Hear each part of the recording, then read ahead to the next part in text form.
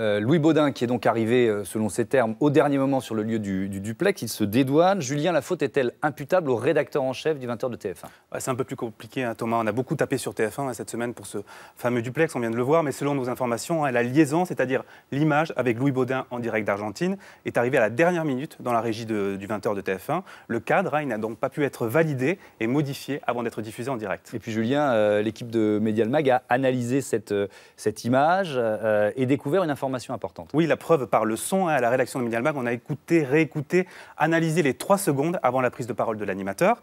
Et entendant l'oreille, on entend une personne qui peut être dans la régie à TF1 ou en Argentine réclamer un autre cadre en anglais. Regardez et surtout écoutez. On imagine que vous devez être euh, ce soir euh, dévasté. Ah, totalement dévasté. Euh. Et donc on entend un Don't the helicopter behind please, ce qui veut probablement dire ne filmez pas l'hélicoptère derrière s'il vous plaît.